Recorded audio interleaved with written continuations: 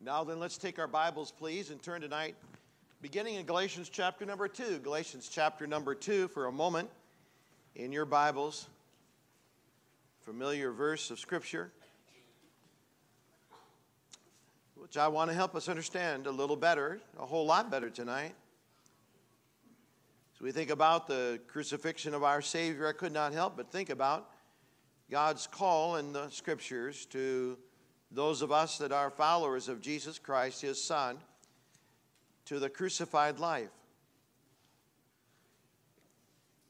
And I'd like to, with God's help, explain to you this evening what specifically it means when the Bible calls us to be crucified with Christ.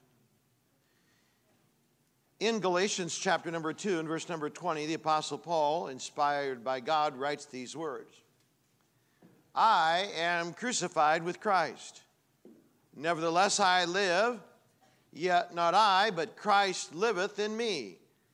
And the life which I now live in the flesh, I live by the faith of the Son of God who loved me and gave himself for me. Well, let's pray together, shall we? Father, these uh, words on a page in the Bible are, uh, are written for our admonition. But we need to understand what they mean, and then we need your help to do that. We also need your assistance in making personal application to our lives concerning this uh, issue that is brought up in Galatians 2 and verse number 20. I pray, Father in heaven, that the Spirit of God will uh, fulfill those uh, promised uh, responsibilities tonight. Take these words and uh, this message and open our eyes of understanding to see ourselves and our own personal needs. And wherever it is in our lives that uh, we need to uh, nail to the cross, I pray that you'll give us your grace that we may be able to say with the Apostle Paul, uh, with all honesty, I am crucified with Christ. And so help us to that end. I ask these things in Jesus' name. Amen. The Apostle Paul lived what we would call the crucified life, but what exactly does the crucified life mean? References to the crucified life are numerous in the New Testament, and this evening I'd like to take you to at least four passages in the Bible that explain to us what it is that needs to be crucified in the life of the dedicated, sincere child of God if we're to live the Christ life the way Paul lived it, and of course the way Jesus lived it, and the way Jesus would call us to live the Christian life. And so tonight I want to take you beginning with uh, Matthew chapter number 10 to the first time that this uh, idea is presented by the Lord to his disciples. Matthew chapter number 10 is early in the public ministry of Christ. This concept of uh, bearing one's cross is likened unto the statement of the Apostle Paul being crucified with Christ. Uh, people today, they tattoo crosses they, on their bodies. They may uh, wear crosses as jewelry. Uh, but there was really only one reason to carry a cross. In the Roman days, if you were bearing a cross, you were bearing a cross because you were going to be crucified. And so it is when Jesus uh, compels his disciples during his public earthly ministry to take up their cross and follow him. It was an unmistakable call to the crucified life. He was saying to them, There's something that needs to be nailed to the cross in your life. If you're going to be a follower of mine, if you're going to be a disciple, this is what you must do.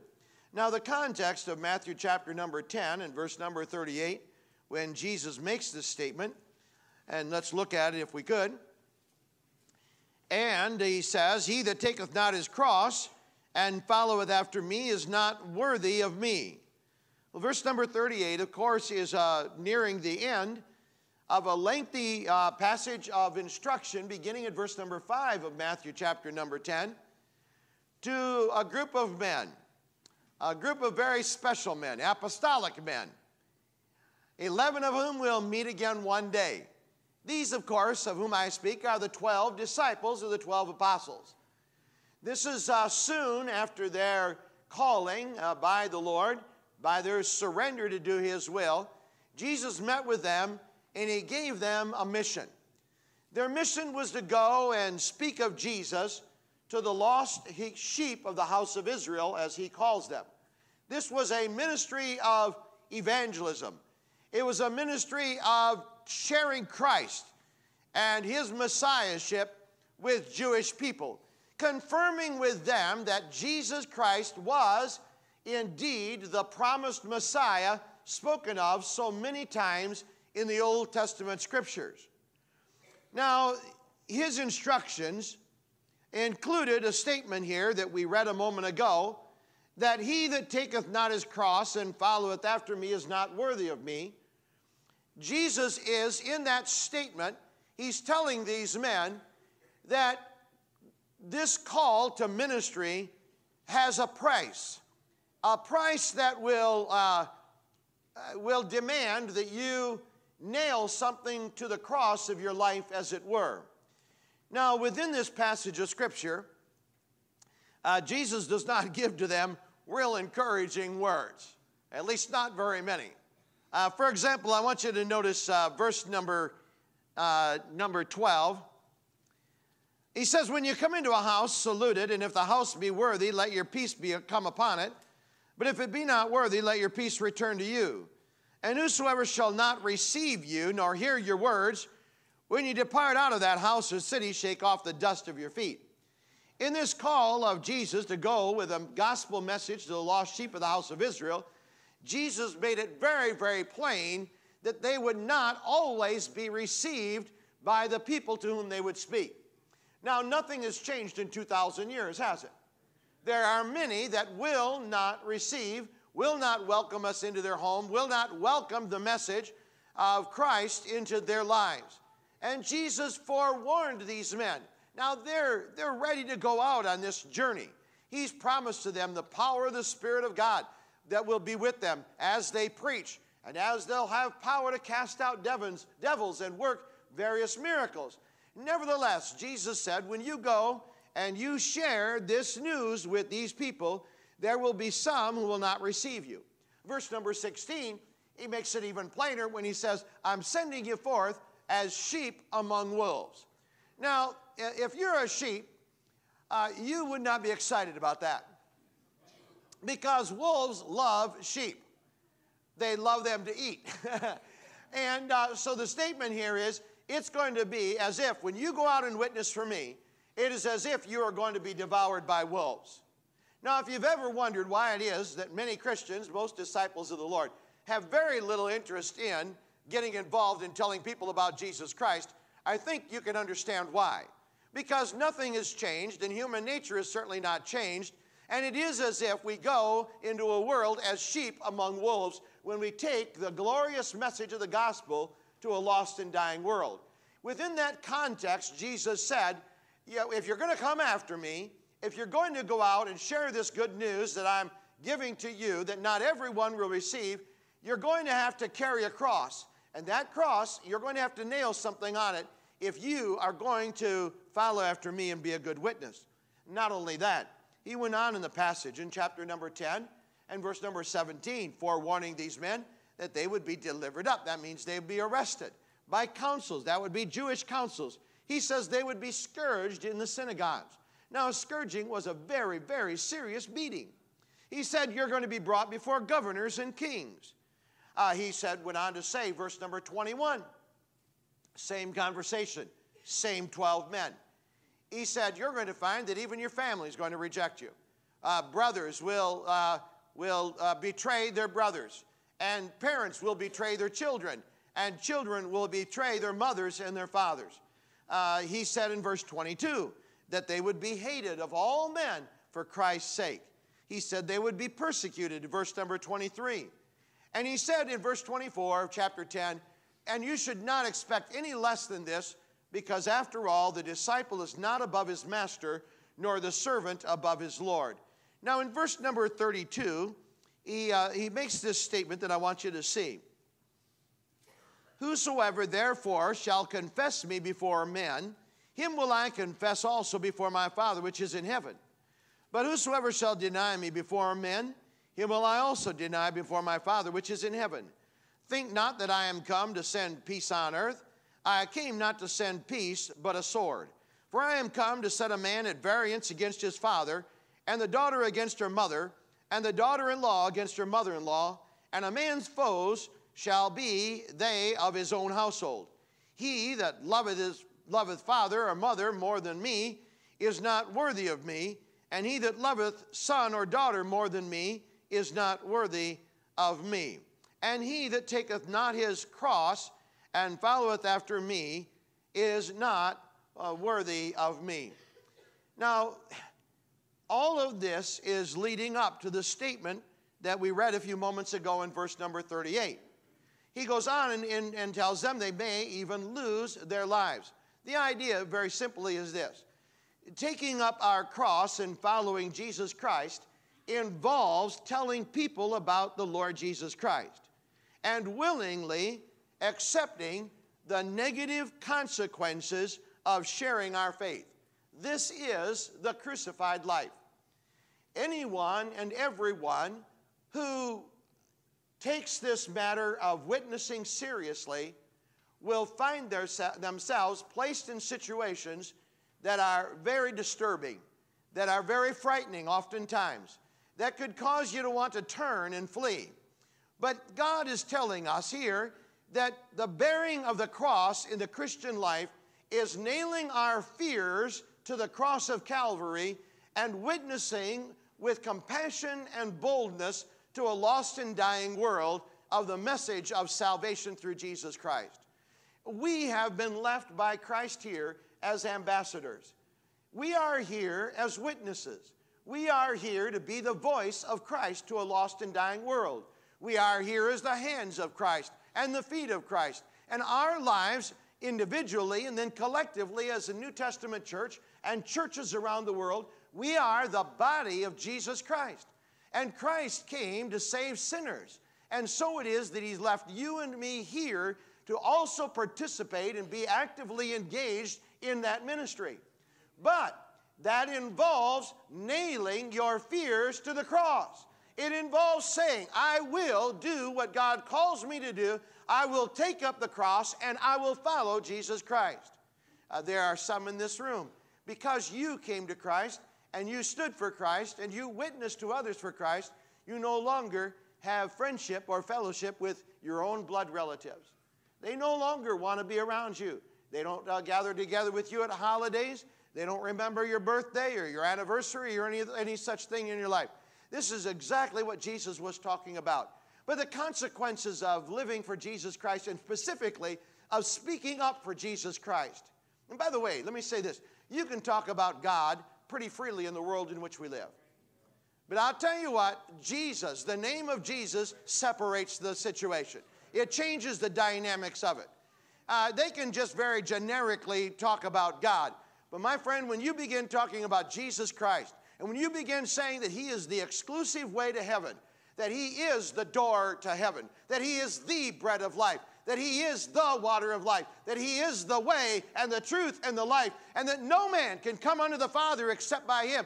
My friend, you have placed yourself in a category that is unacceptable with the world and its way of thinking, particularly in the day in which you and I live. Now, we have two choices. We can be silent or we can speak up. Those who choose to speak up will pay the price. And they are the ones who follow Christ bearing their cross. They are just as afraid as the rest of us who will not witness. They are, they are just as bothered and hurt by the rejection of others. And nevertheless, these men uh, wonderful examples to you and me tonight. They, after listening to this, uh, would you call it a pep talk? Hardly. It certainly would not be what the coach would say to his team as he sends them out onto the floor. But you know, Jesus, with great candor, he told these men what was waiting for them if they would go and witness of him to others. And as a result, they would have to bear their cross and follow him. And so it is that when the Bible talks about the crucified life, you and I must crucify our own feelings, our own fears, our own need for acceptance, and realize that we have a much more important matter at hand, and that is to rescue the perishing and care for the dying. God has chosen through the foolishness of preaching to save souls. That includes not only public declarations of the gospel as I gave this morning, it's a part of the morning message in 8:30 and 10:45, or that I gave on Friday and uh, this la- Thursday of this last week at the, the homegoing of Brother Heine Haffley. But my friend, that includes your witness also.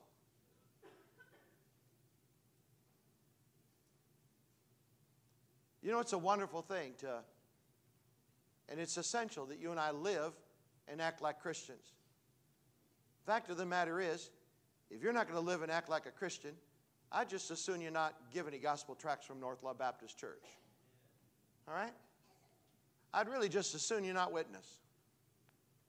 But can I tell you, just living the Christian life in front of people that are unsaved is not enough.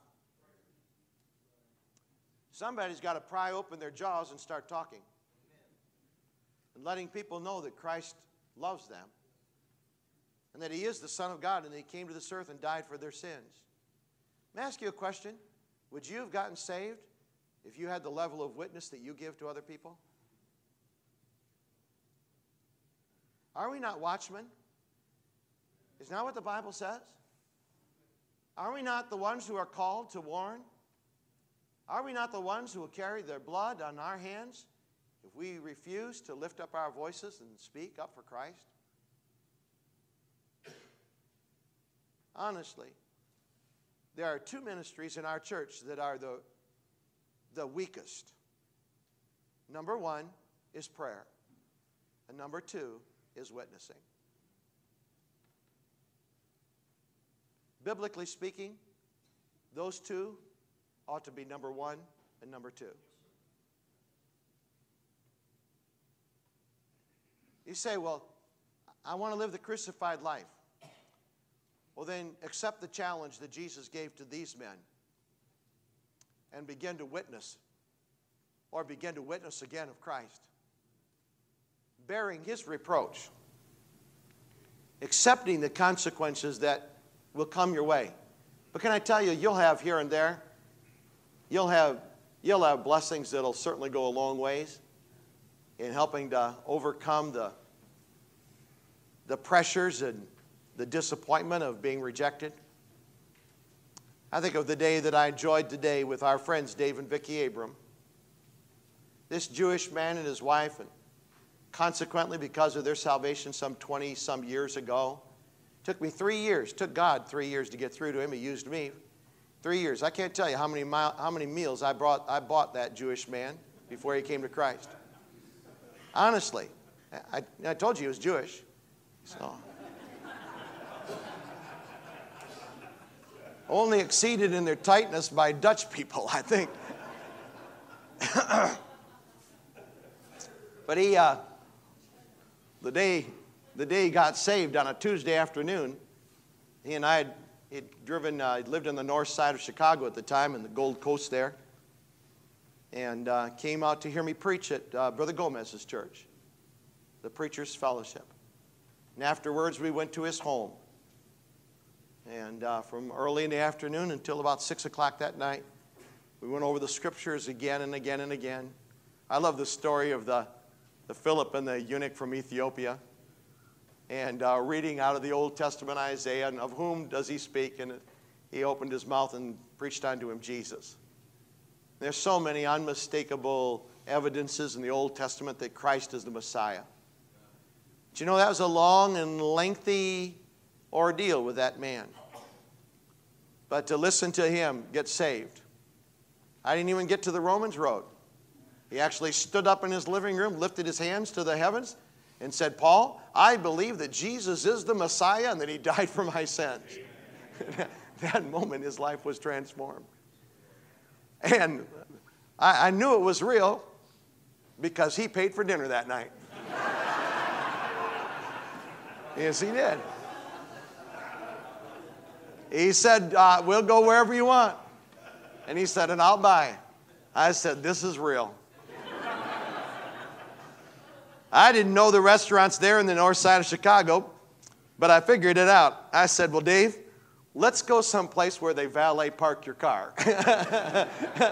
and I knew that would be a good restaurant. And sure enough, it was. And uh, what a joy this afternoon to, to sit at the table with he and his wife, and their daughter, each of them in Christ. Her parents now in Christ. You know, his wife, a therapist uh, by trade, her parents, uh, professors at the University of Wisconsin, now born again.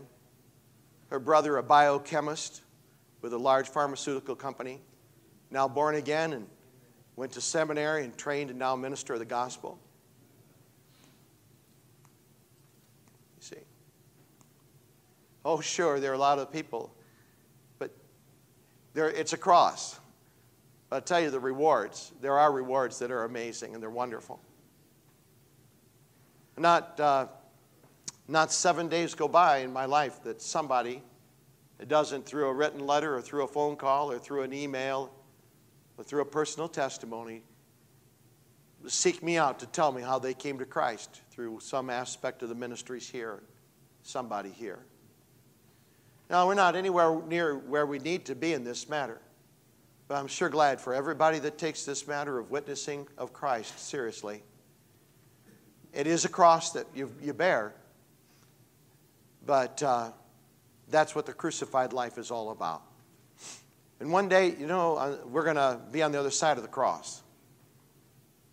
And we'll enjoy forever and ever and ever the fellowship similar to what I enjoyed this afternoon with, with our friends, the Abrams.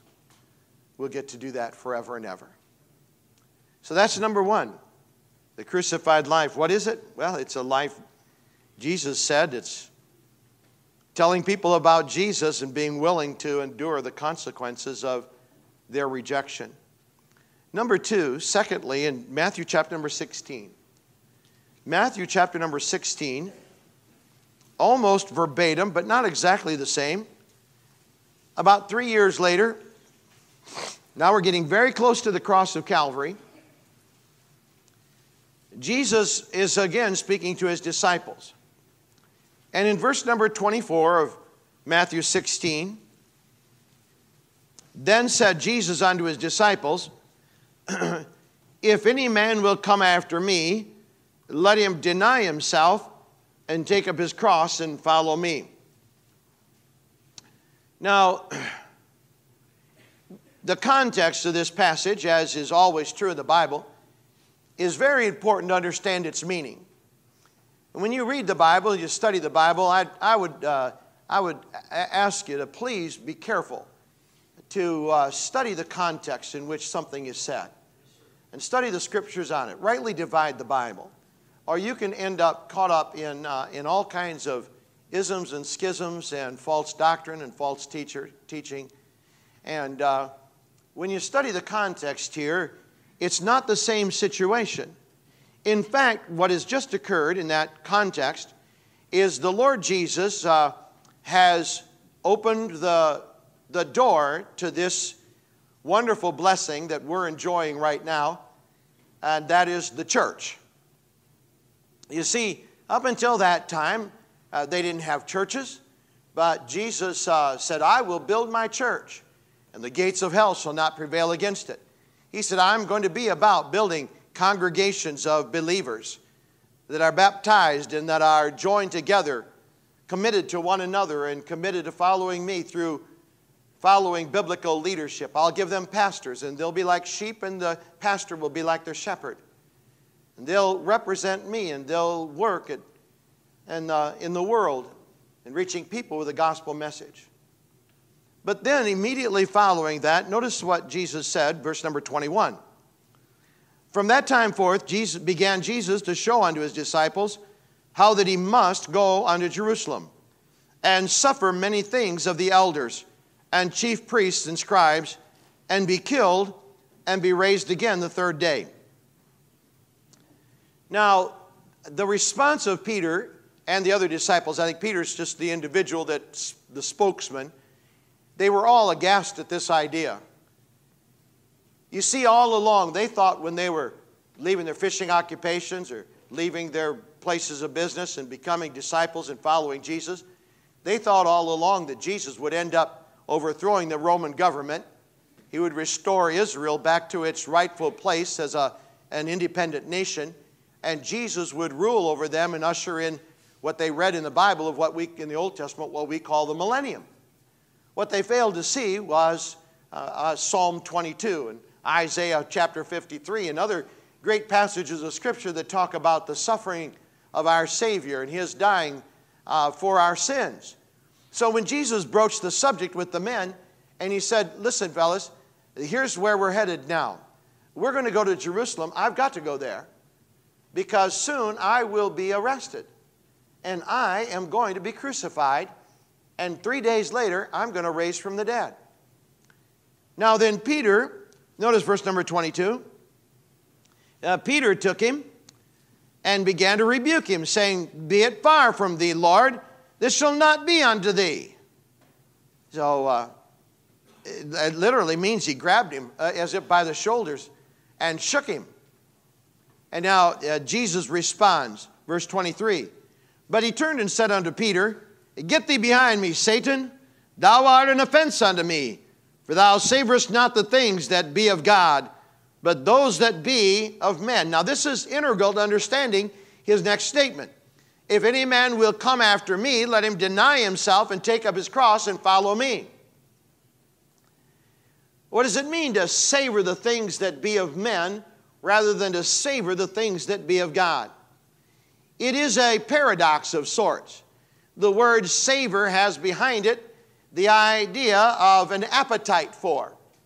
And he's simply saying to Peter, He's saying, Peter, you do not have an appetite for eternal things. You don't have an appetite for the things of God. You have the appetite of the world. Now, that is not saying that the appetite in and of itself is sinful. He's not talking about he's lusting after something literal there, but it's a mental outlook that Jesus is reproving.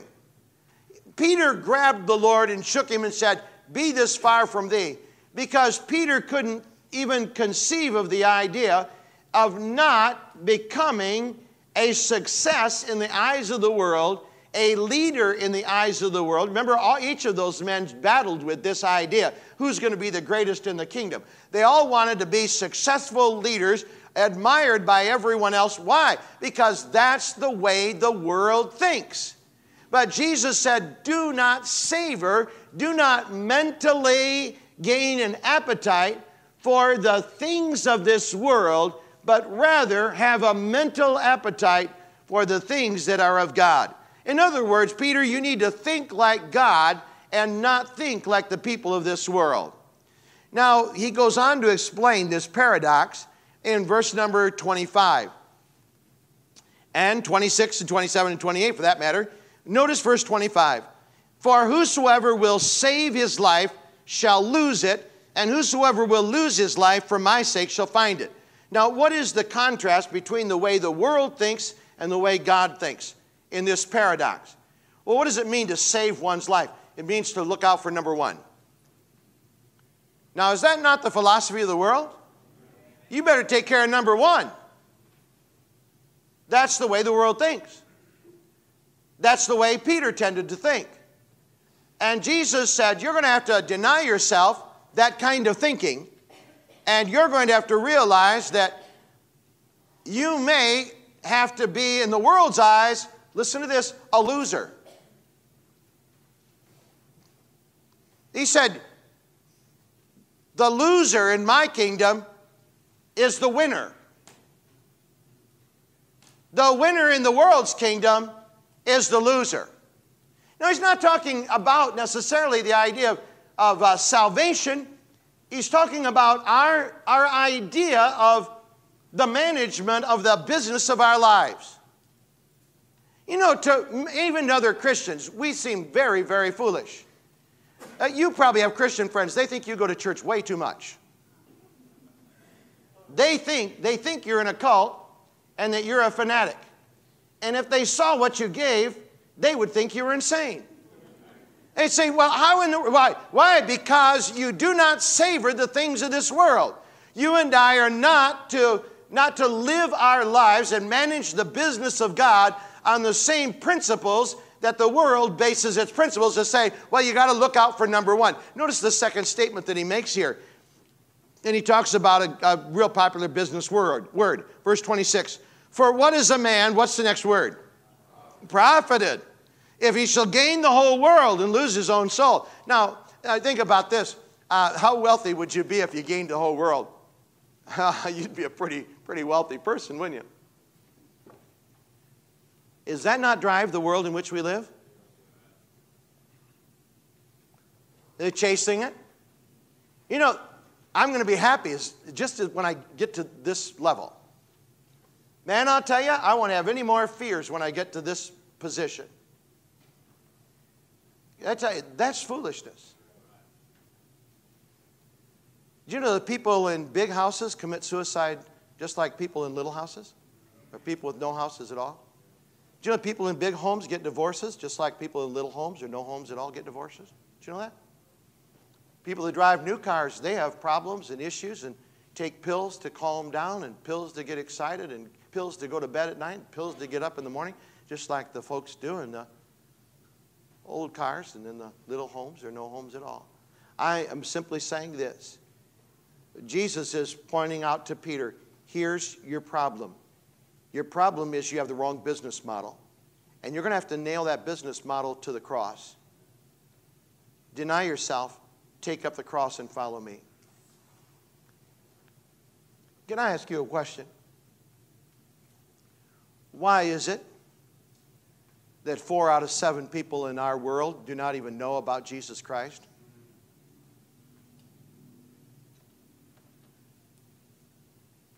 I'll tell you what it is. It's not because God hasn't called people to take the message to them. It's because people, God's people, savor the things of this world and not the things of God. That's what it is. You know, a lot of things in life. And I, listen, I want you to do whatever God calls you to do, and there's it's nobility in it as long as it's not dishonest or there's nothing wrong with that. And I also think that most Christianity uh, is, ought to be bi- bivocational. I really think that's it. Heaven's sake, even the Apostle Paul, uh, when he went to Corinth and started a church, he was bivocational. So there should be no criticism in that at all. Fact of the matter is, if you were a Jewish boy growing up in a Hebrew home, you, you may study the letters to get a business, business uh, where you could, you know, use your head, but you also had to learn a trade. Everybody did.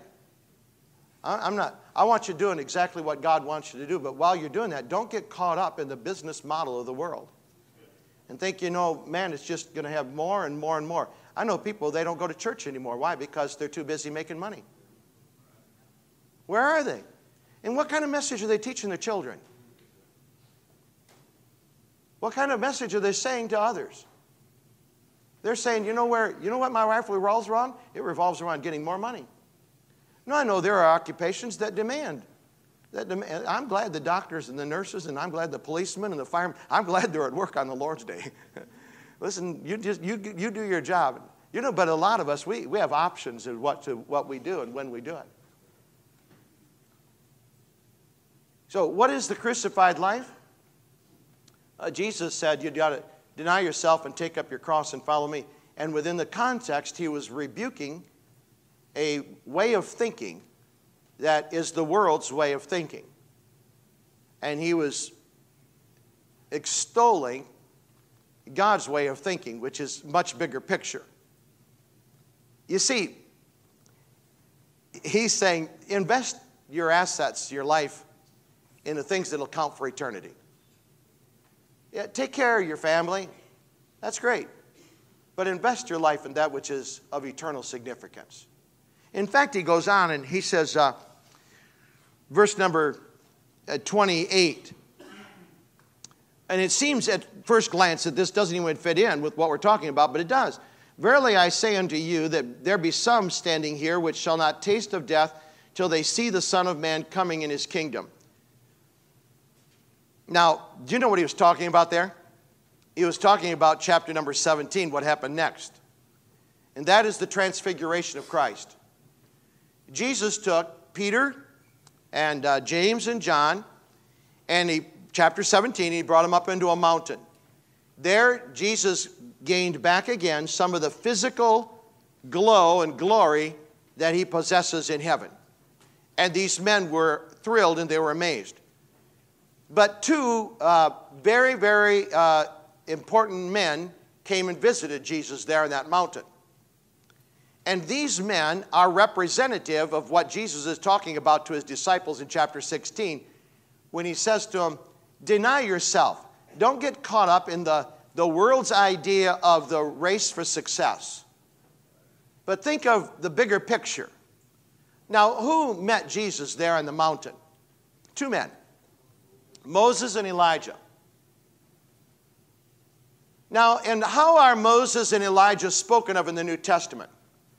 First of all, Moses made his way into chapter number 11 of the book of Hebrews. And what does he talk about? Could have said a lot of things about Moses, but what does Hebrews 11 tell us about Moses? When he came of age, he refused to be called the son of Pharaoh's daughter. You know what? That was, a, that was an idiotic business decision. You know, he could have said, Man, I'll tell you what, as Pharaoh's daughter, I have access to millions and millions and millions of bullion of gold, and I've got power and authority. I have everything at my disposal that could advance the cause of God's people and God's, God's name. But you know, he chose to suffer affliction with the people of God rather than enjoy the pleasures of sin for a season. Why? The next verse, Hebrews 11 says, because he looked forward to the recompense of the reward. In other words, he said, Hey, so what if I grow up in Pharaoh's household and I have the nicest and the best of everything, but I miss out on God's will for my life? And I die and I leave it all behind. He said, You know, I think it's a better business decision to throw my lot in with the people of God and God's will. And sure, it's going to be sacrificial, but those rewards and blessings I'll be able to enjoy forever and ever and ever. Tell me, who's the wiser businessman? Why, certainly it's Moses. How is Elijah spoken of in the New Testament? Well, James chapter number 5 tells us in verse 17 that Elijah was a man of like passions as we are. In other words, he, he is made of the same stuff that you and I are made of. But he prayed earnestly that it might not rain, and it rained not on the earth by the space of three years and six months. Now you think about that. You know what he knew was happening when he prayed that it might not rain? He knew that that would cripple their economy. He knew that that would put their, their world in a tailspin. But he also knew that it would capture the attention of God's people and it would bring them to a place of renewed faith in God and also faith to remove the idolatry of the false prophets out of their, out of their country and he was willing to make that sacrifice for the bigger picture. And so I'd like to say to you this evening when you think about Paul saying, I'm crucified with Christ, what is the crucified life? Well, it is, it is a life that in which we, we build our business around the cross and around eternity and not according to this world. Number three, Romans chapter number six. In Romans chapter number six, we you see this uh, truth once again. In verse number one, he says, What shall we say then? Shall we continue in sin that grace may abound? There's a passage to believers about living the victorious Christian life. He then goes into a brief uh, application of baptism, and uh, speaking of believers' baptism, and then also of the planting of a seed that must die, it be planted in the ground in order to be resurrected. And then he says in verse number six, knowing this, that our old man is crucified with him, that the body of sin might be destroyed, that henceforth we should not serve sin. So, the crucifixion with Christ that he's spoken of here, or speaking of here in this passage, He calls it the body of sin or the old man being crucified. And what is he talking about there? Well, the destroying of the body of sin is not its removal. There, there's nobody here that's going to reach a point this side of eternity where you're never going to sin. Nobody becomes sinless. But, bless God, we could sin a lot less. And the idea behind this is that, that uh, we've got to crucify the old man. Now, the old man is not your father, all right? The old man is the old you, he's the old me. Now, by the way, the word destroyed means to be rendered useless or idle. In other words, the crucifixion uh, analogy is really appropriate. He's simply saying, you know, you use those hands for evil. He said, you get to nail, nail those to the cross. You know, your feet took you places you ought not to have gone. So you nail those to the cross. He's saying, you've got to nail the old man to the cross. That's the idea behind the crucified life. It is the idea of putting off what the Bible calls the old man. In uh, Ephesians 4:22, the Bible calls this old man the former conversation. Now, conversation we think of two people talking together, but biblically, a conversation is our lifestyle. Now, before people are saved, they have a style or a way of living that if it's wrong, that when they get saved, it needs to change. Uh, I, would, I would like to suggest to you that if you is what you was, then you ain't.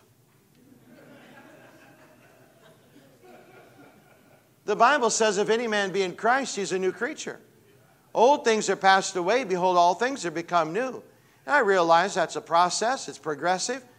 But my friend, to not move anywhere, not change at all, is indicative of no real change inside.